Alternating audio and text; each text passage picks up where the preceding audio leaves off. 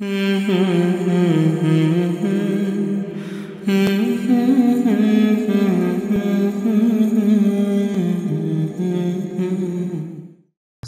আলাইকুম আল্লাহ সান্নিধ্য অর্জনের জন্য সুন্নত নামাজের জরুরত কতটুকু? নাম্বার ওয়ান কথা হলো, যে সমস্ত সুন্নতগুলো সুন্নতে জায়দা ফরজ নয়, ওয়াজিব নয়। সেই সমস্ত সুন্নতগুলো যদি আপনি ওজরের কারণে ছেড়ে দিতে দেন ওজরের কারণে পড়তে না পারেন, আপনি সিনার হবেন আপনি গুনাগার হবেন না। কিন্তু আপনি যদি ইগনোর করেন, তাহলে আপনি গুনাগার হবেন রসুলের কোন সুন্নাত, সেটা যত স্মলই হোক, আপনি ইগনোর করতে পারবেন না। এখন ইগনোরটা বোঝার জন্য আমি আপনাদের একটা উদাহরণ দিই। আপনি মসজিদে আছেন, মসজিদের আশেপাশে আছেন, এখন জামাতের সময় হয়েছে। এখন আপনার সাথে টুপি নাই। আপনি কোনটা করবেন? কি টুপির জন্য বাসায় যাবেন নাকি মসজিদে ঢুকবেন ফরজ নামাজ, জামাতে পড়ার জন্য?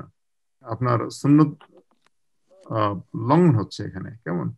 কিন্তু জামাতে যোগদান করা হলো ফরজ, নামাজ কায়েম করা হলো ফরজ, টুপিটা হলো সুন্নত। এখন আপনার কাছে নাই ইউ আর ফাইন আপনি নামাজ পড়েন, কোনো গুণা হবে না সবার কোনো কমতি হবে না।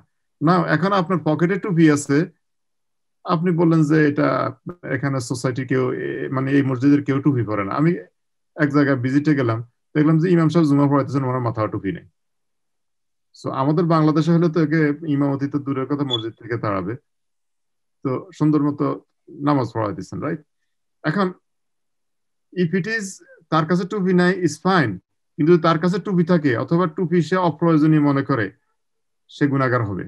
যেহেতু টুপি দেওয়াটা রসুল সাল্লাহ সাল্লামের সুন্না হাদিস থেকে প্রমাণিত আছে রসুল সাল্লাম শুধু ফাঁকি পড়তেন না ফাঁকির নিচে তিনি একটা টুপিও পড়তেন। তাহলে এই টুপিটা রসুল সাল্লাহ সাল্লামের সুন্না আপনি এটা ইগনোর করতে পারেন না। বাট না থাকলে ভালো। তো আমি বুঝাইতে পারলাম কিনা আপনাদেরকে যে একটা হলো ইগনোর করা আরেকটা হলো সুন্নত পালন করতে না পারা।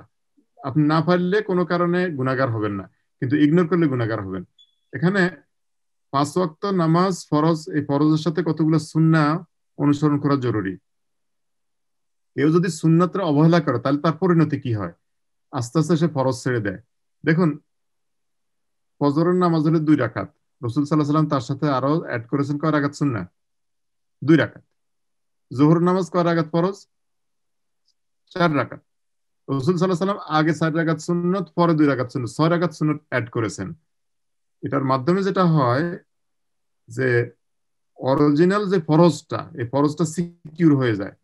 এখন আপনি আজকে মনে করলেন যে শুধু আমাকে তো ষাট রাগাত ফরজই পড়তে হবে, তা আগের সুন্নত পড়লেন না। কয়েকদিন পরে মনে করলেন যে শেষ সুন্নত দুই রাগাত না পড়লেও হবে, সেটাও পড়লেন না। এরপরে কয়েক মাস যাওয়ার পরে দেখবেন যে ওই ষাট রাগাত ফরজ পড়ারও আপনার আর সময় হবে না, যদি আপনি ইগনোর করেন। তাহলে সুন্নতকে ইগনোর করলে সুন্নত আপনাকে আপনার সুন্নতের ইগনোরের মাধ্যমে আপনি হেদায়তের পথ থেকে বঞ্চিত হয়ে যেতে পারেন। কেমন? কারণ সুন্নত ইন্না সুন্নত তাহদি ইলাল ইলাল জান্না সুন্না মানুষকে জান্নাতের দিকে পথ প্রদর্শন করে। এটাকে ইগনোর করার সুযোগ নেই। এই জন্য যে সমস্ত সুন্নত নামাজগুলো আছে, আমরা আমাদের সাধ্য মতো ফরজের সাথে সেগুলো আদায় করার চেষ্টা করবে।